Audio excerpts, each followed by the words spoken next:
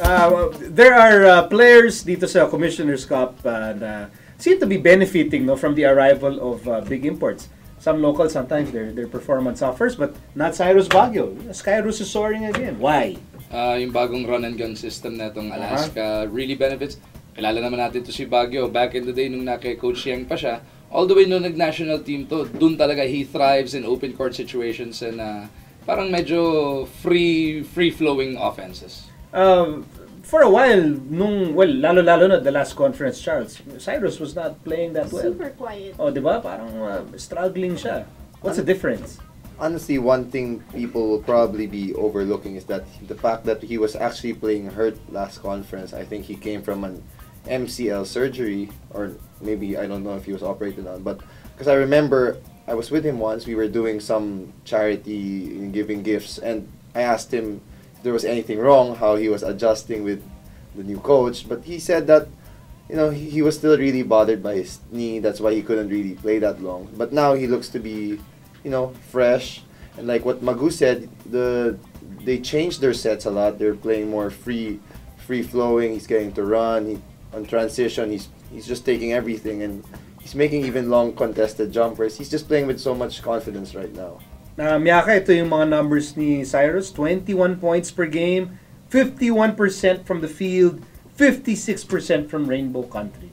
Parang feeling ko kasi malaki yung naging weight off sa kanya nung dumating yung 7-footer na lang si Adam Parada. Kasi usually, pag sinabi mong Alaska, siya, siya lang yung iisipin mo nagsuscore doon and si Sonny Toss. But now, I guess parang uh, mas iniisip niya siguro na oh, wala na masyadong pressure sa akin. So, sa iba naman. Sa iba naman. Lahat ng, at- lahat ng attention ngayon, I think, goes to Adam Parada and Toss. So, na, mas naiiwan siya out in the open. Uh, how greatly is Cyrus benefiting from an import like Adam Parada?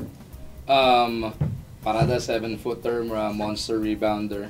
Ano eh, madalas ngayon makita mo nagli-leak out eto si Cyrus Baguio. Talagang, uh, pag, alam mo may vacuum ka, may 7-footer ka doon sa ilalim pagkuha ng rebound. Leak out ka lang, pag nahanap ka, sigurado makaka-easy to ka na sa kabilang dulo. And pati sa outside shooting, 56% shooting from the three-point line. Eh, alam mo, pag, kahit magmintis ka, meron ka rebounder sa ilalim, siguro mas maganda talaga sa kanya. Yeah, because uh, right now they're parading Sunny Thos and Parada as their starting power forward and center, and it's probably the biggest in the league, I'd say, and that allows them to get more rebounds, which, like what Magu said, allows Cyrus to run more. Plus, they're playing a lot of stretches with. na akong tumama.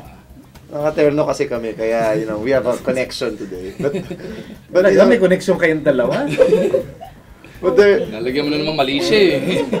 But you know they're they're playing a lot with LA, Bon Bon Custodio, and Cyrus Bag. You know that's a team that likes. I mean, really will push the pace. And LA is such a great point guard. He's gonna set Cyrus up. Then Parada, he's being doubled on the post. He kicks it out to Cyrus, and you know he'll have a lot of open shots. Ayan, so total, ikaw na nag-bring up, no? Uh, we have to talk about Baguio in the context of being in the same backcourt as LA Tenorios, one of the best point guards in the league. When Baguio's playing this well, uh, yung Alaska backcourt, what can you say about it? It's, it's to become a very, very dangerous backcourt. LA, mag nagkakaroon siya ng paboritong target and he can just pick his spots now. Yung uh, pagdating sa scoring load, nakita mo yung Lucena game.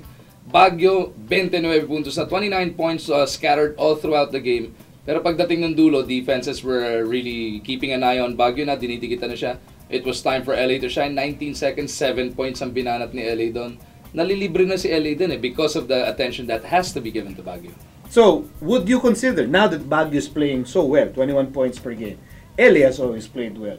Yung backcourt na yan, Cyrus LA, should people consider this backcourt Dangerous. one of the elite backcourts in the PBA? Not only are they super bilis, pero sobrang dangerous din. Merong potential. They're super bilis. May potential. really? Ah. Dangerous ha, dangerous. really? May Ikaw, ikaw. potential. Uh, okay, from a coach's standpoint, how how do you look at this backcourt? How do you defend them? What are their strengths? What are their weaknesses? I mean, no doubt they're one of the elite backcourts in the league. LA, you know, when he plays the pick and roll, he's just so tough to guard.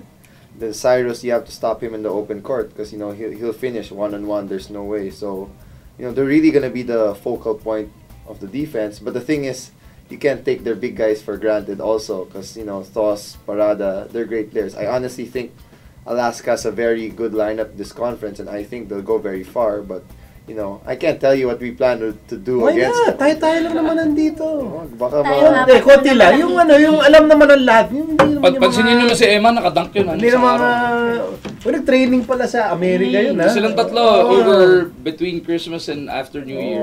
Pagka- Yung span na yun, si Reyes, Tos, and Eman. Pinadala sa States, like big man camp. Yeah, so okay, now so let's go back to uh, Baguio just to wrap it up. Uh, do you expect Cyrus to sustain this all the way till the end of the Commissioner's Cup?